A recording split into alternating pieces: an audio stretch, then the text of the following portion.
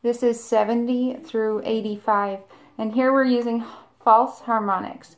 Just like the harmonics I showed you, you're going to rest a finger on the string, but this time you're going to hold another finger down. So find your first finger on the A string on that pitch, and now just gently touch the fourth finger to the string to get that pitch. So all of these notes will be played with the first finger down and gently touching with the fourth finger, except for open stringed notes. Then you'll just play the open string with the third finger. So here's 70 through 85.